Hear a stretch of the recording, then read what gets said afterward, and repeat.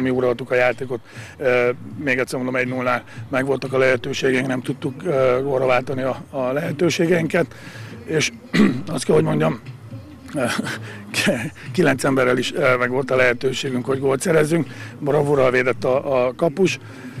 Mindent elkövetett a, a csapat annak érdekében, hogy még ember hátrányba is megnyeri a, a mérkőzést. Nagyon szépen köszönöm a szurkolóinknak a támogatást, nagyon szépen köszönöm a játékosoknak ezt a hozzáállást. Én azt gondolom, hogy többet érdemeltünk volna.